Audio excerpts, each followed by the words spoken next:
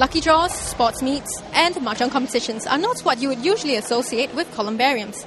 But that's what's exactly happening at Nirvana Memorial Garden. The columbarium's owners say they hope to transform the image of a columbarium from some place sad and somber to a place of happiness. Nirvana Memorial Garden held a lucky draw recently. The prizes? Five return tickets to Macau. To promote this uh, columbarium business, we need to be very creative.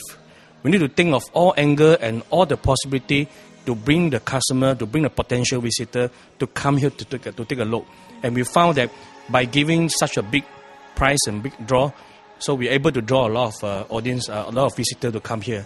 In fact, the the crowd this morning showed that we are very successful. Uh, we are going to have a, a, lucky draw, the big wheel lucky draw.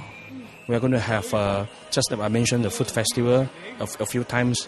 We are going to have some sport competition also, uh, sport competitions and some matches, some games competitions in here. Yeah, of course. Uh, every year we will have two major uh, enlightenment ceremony that those uh, people already move in, they can do this enlightenment ceremony, or those people they want to pray for their health and for their uh, for their wealth, you know, they can come here also as well.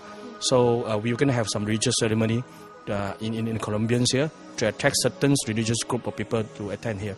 And also at the same times, uh, most of the weekend we engage with some resident committee and some uh, NGO associations and also some of the Tai Chi students or, or any kind of uh, a grouping we, we, we will give them a free tour, a bus with a meal, uh, the whole morning sessions activity. We encourage them to come here to pay a visit to our columbarium. So by doing so, they also uh, come here to have a chance to see what they would not see in, before. The strategy seems to have paid off. 600 members of the public turned up at the columbarium and 100 niches were sold that very day. Who is your target market?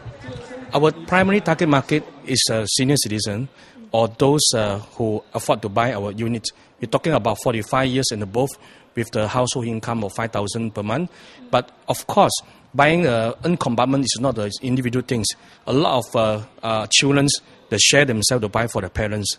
So the, the secondary market will be the middle income group and the younger generations.